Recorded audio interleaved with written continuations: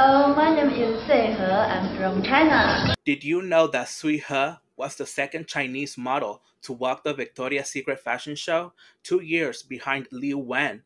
Sui worked for the brand eight years in a row, but for some reason, she did not become an angel. She debuted on the show back in 2011 on the ballet segment. She is the Asian model to have walked the most shows out of the eight that were ever booked for the show. So I thought she might become an angel, but I was not surprised because in the brand's history, there was never an angel with direct Asian ancestry. Her last walk was in 2018 on the Celestial Angel segment.